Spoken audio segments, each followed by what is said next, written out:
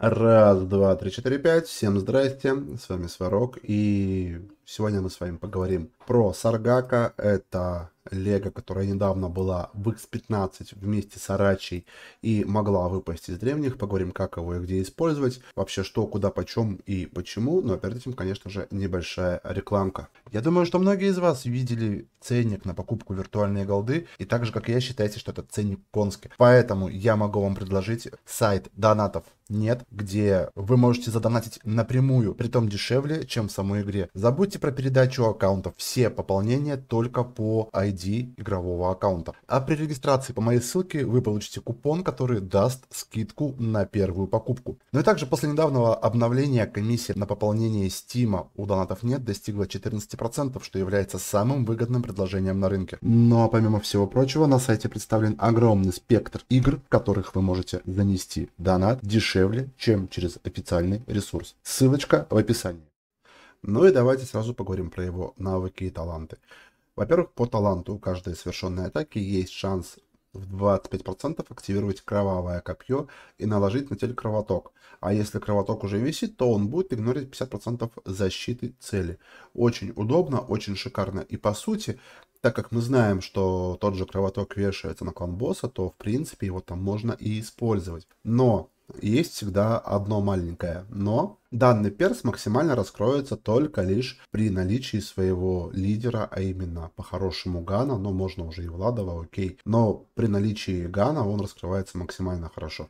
Но есть и другое но. На клан-боссе его использовать очень тяжко, потому что, как мы знаем, при лидерке от того же Гана все бусты к повышению атаки урона он получает непосредственно лишь при падении здоровья ниже 30%. А чтобы его поддерживать на low HP, на том же клан-боссе нужно постараться, потому что в 99% случаях все наши персы находятся под хилом. Есть пару особенностей, но какой-никакой, но подхил для них должен быть, потому что в противном случае они умрут от банального метеорита. Также вторая особенность этого героя, что у него есть специализация скорости атаки. Дает уменьшение интервала атаки в зависимости от характеристик скорости атаки. И повышает на 10 за каждый процент отсутствующего HP скорость атаки. Соответственно, во время ульты, когда он ультит, он теряет 10% хпшек и уменьшает защиту на 30 свою, но повышает атаку на 45%. Соответственно, во время ульты он теряет примерно под 80-85% хпшек и остается на low-low HP. У него очень быстрая скорость атаки, но опять-таки на том же клан-боссе он может легко сгореть от любого метеорита, будь то сам метеорит, либо его поджог. Поэтому его там сложно использовать, и для этого уже нужна Корнелиан. Но по факту фра вся фракция хаоса у нас является аренными героями, и данного перса очень легко использовать на любой арене. Но опять-таки, конечно же, использовать его на арене нужно непосредственно за своим лидером. Исключение составляет противовоздушная арена, где он может поиграть, потому что, в принципе, там никто его не дамажит, поэтому он там спокойно себе опускает хпшечки, начинает очень быстро бить и при должном шмоте начинает, в принципе, неплохо наваливать. Но внезапно игра Саргака на противовоздушной арене показывает, в общем-то, хорошие результаты, но не настолько имбовые, как на других. По той простой причине, что лидер лучников увеличивает урон, а его баф к нанесению урона, который он получает во время ульты, краткосрочный, 20 секунд.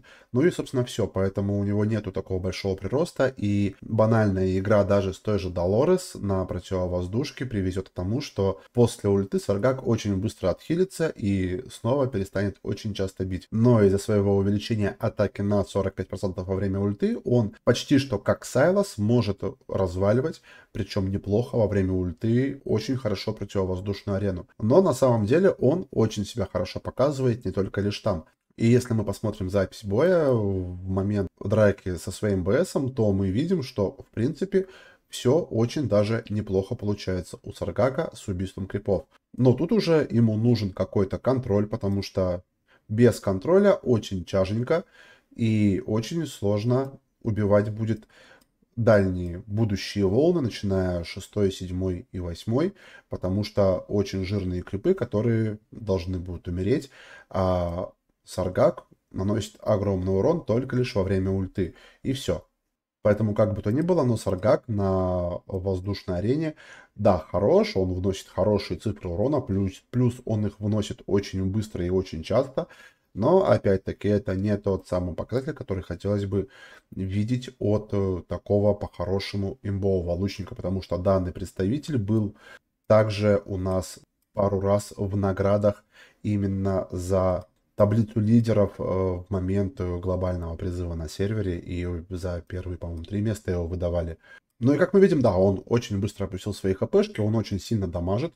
Э, не сравнится, конечно, с Сайлосом на ульте, но в любом случае на воздушке он может себя показать, потому что крипы, в принципе, картонные. Поэтому, да, он может наносить какой-то урон, и он его, в принципе, как-то наносит, но опять-таки к этому всему урону нужен контроль, потому что без контроля очень тяженько.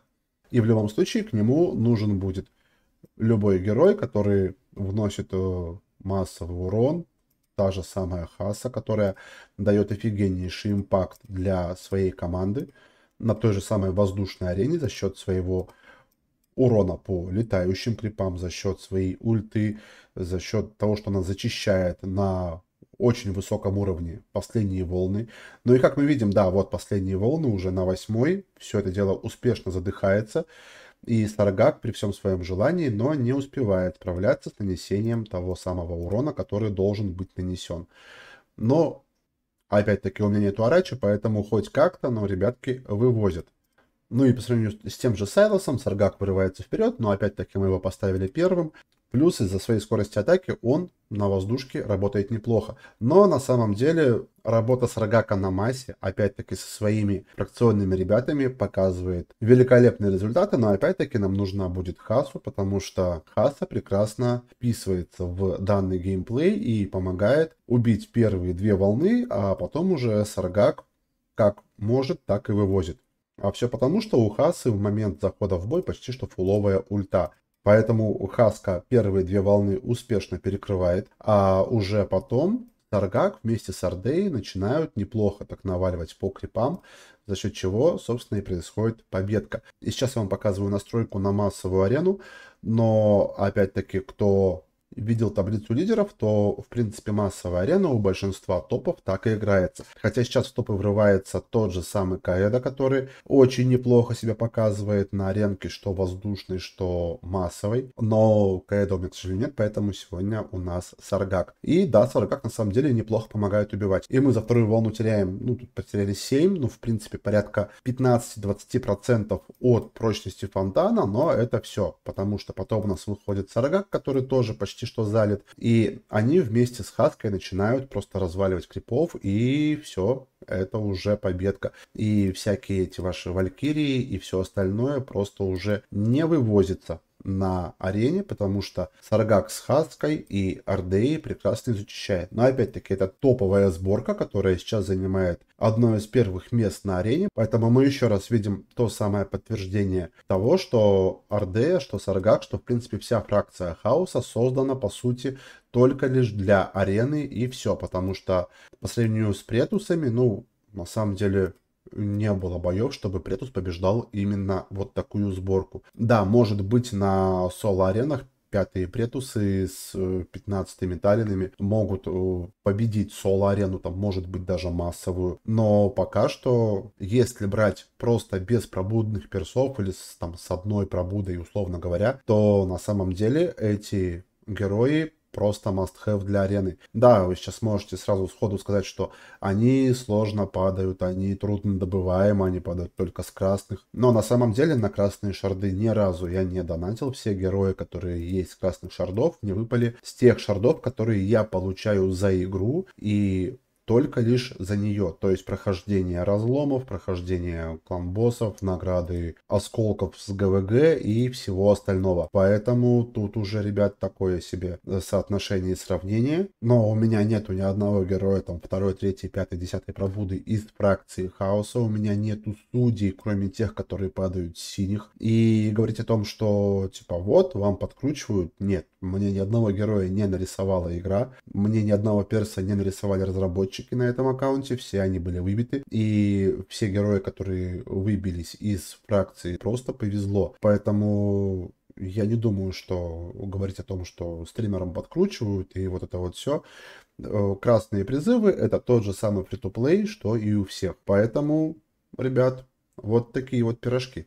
Ну и, конечно же, на то же самое соло-арене он прекрасно может заменить собой Лерку, потому что, в принципе, да, у Лерки есть прыжок, есть взрыв, но после того, что Саргак может зайти в бой просто, грубо говоря, почти сходу, потому что если мы возьмем ту же самую соло-арену, то как она вся играется через выставление Кирены, ну, либо, как показывал девятый, через Жизельку, но Киренко быстрее поставит вашу команду на поле боя. Соответственно, при всем моем уважении, но Саргак в данной пачке смотрится даже чуть-чуть посимпатичнее, чем Валерия, по простой той причине, что его никто не дамажит, нет никакого желания его сейвить, он стоит себе на полочке, его никто не трогает, его никто не убивает, он также очень быстро начинает заходить в бой и дамажить. Да, он стоит на одну монетку дешевле, чем Лерка, но соло-арена, как все знаете, играется по-хорошему через собаку. Песики в этой игре самые топовые. Орк это орк, но постольку поскольку. Поэтому я надеюсь, что вам будет также сильно вести, и вы также сможете все этих героев полутать, потому что на самом деле фракция хорошая, мне нравится больше, чем судьи, хотя судьи более вариативны непосредственно в своем исполнении, и они на самом деле более имбовые по той, по той простой причине, что та же самая расовая способность лидера, которая вызывает э, молнии по всему полю, и то, что Эту способность может бафнуть неплохо так Констанция своей ультой и увеличить урон им. То есть это как бы чуть-чуть разные вещи.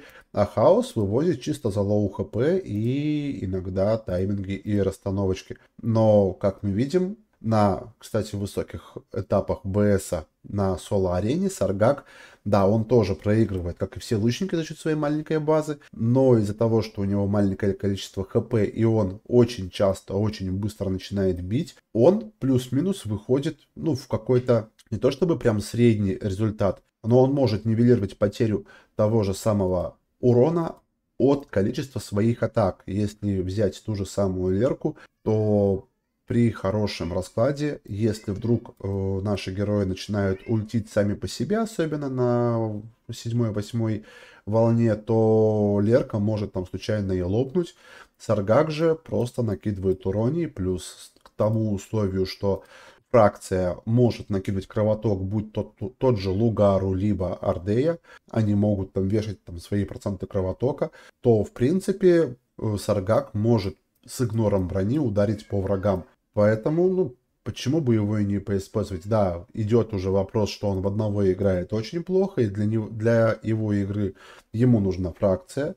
Но для тех, у кого он есть, почему бы его не юзать? Потому что перс очень хорош. Единственная проблема использования всей этой фракции на клан-боссе по той простой причине, что они все могут очень быстро умереть. И оставить наших героев на клан-боссе с одним хп, как это сейчас происходит на ваших экранах, очень очень и очень трудные. Для этого нужно им как минимум Корнелиан, а по-хорошему еще и Дурза, чтобы бафнуть им урон. А также все еще играют через Долорес, которая нет-нет, да и хилит, поэтому если раньше у нас Долорес до ребаланса эффекта исцеления могла на low HP подержать всю банду и нам не нужен был хил, то сейчас же без хила у нас вся банда просто ляжет на том же клан-боссе. Но в принципе вот такой вот обзорчик Саргака, вот так вот он может, вот так он играется. И если вам было полезно и интересно, то конечно же я бы хотел увидеть от вас лайк. Ну и по поводу одежки Саргака, я на него нацепил взгляд Эдриль, чтобы он также игнорил 40% защиты с 25%, с